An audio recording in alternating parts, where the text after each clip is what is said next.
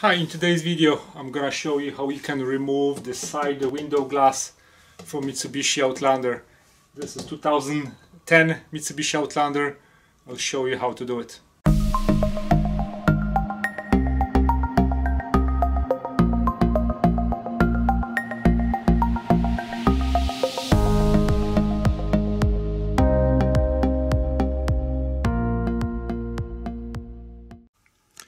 So first we need to remove the panel. It's very easy. There is one screw over here. There is another screw right here. You need to remove those screws and then you just pop out the uh, whole panel from the bottom. Now I'm just going to pull it from the bottom. Alrighty.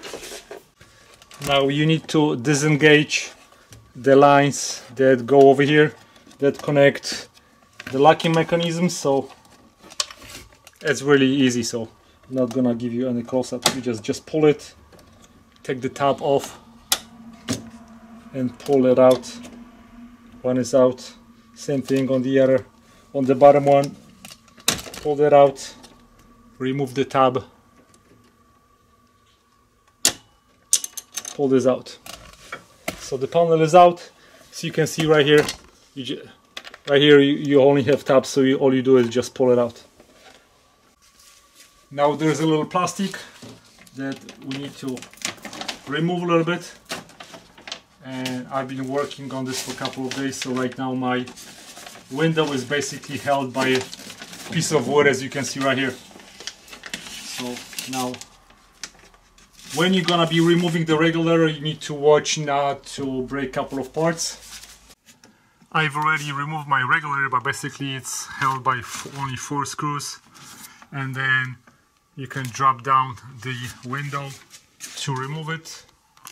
Now before you want to remove the glass window of course we need to drop it a little bit and then you need to take all those seals. Without the seals you have plenty of space and we also take, need to take the seal on the outside. The seal on the outside is held by screw right here.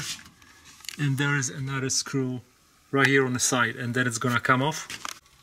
So I have removed all those side screws. All we have to do is just pull that seal out.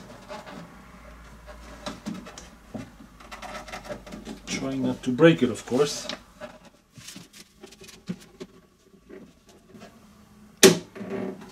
okay I pushed a little bit from the bottom. Okay so now the seal is out. Now here's a little trick to remove that window. So let me show you the trick first.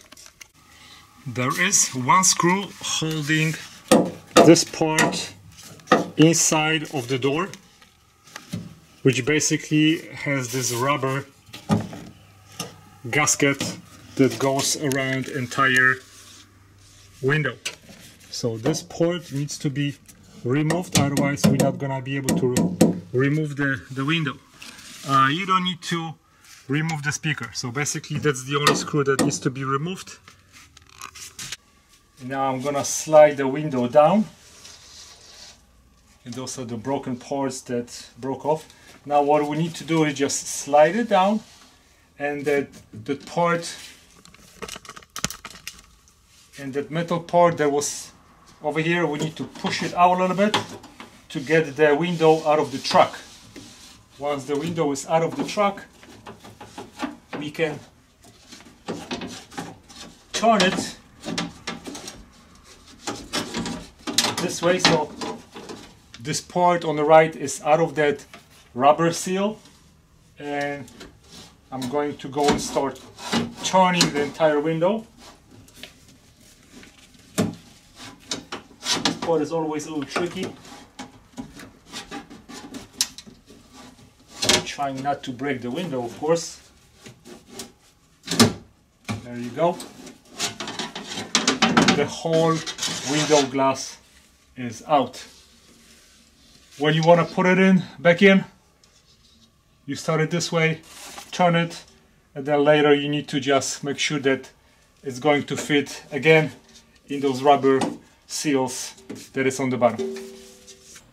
If you're interested how I fix my window, a regulator and the broken parts on the window, I'll give you the link on the bottom of description of the video and at the end of the video.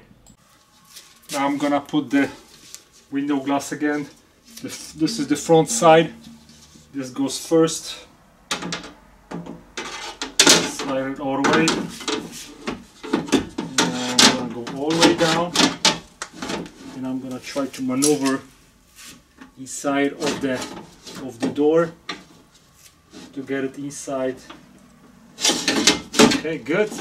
I need to push that the thing that I was that is holding the uh,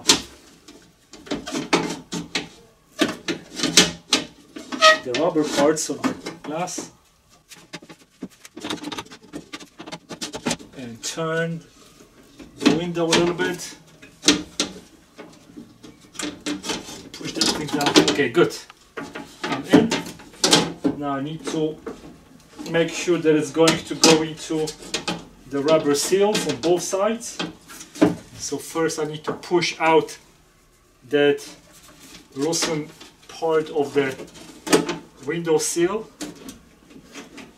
Put the window inside of the groove.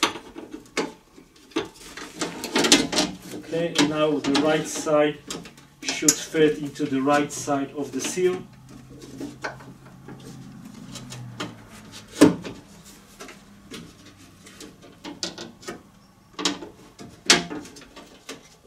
Okay, good.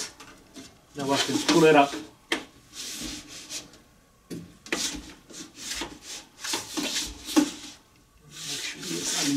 Okay, and now I can close the window, good. So now I'm gonna drop it down a little bit so I can install my uh, the truck. I put a little clamp on my window so the window does not drop anymore and I'm just going to attach my uh, regulator together with the truck. Looks like everything's working. Thanks for watching guys. If you have any questions, uh, send me email. I'll be more than happy to help you. And then subscribe, give me a thumbs up. Thanks for watching. Goodbye.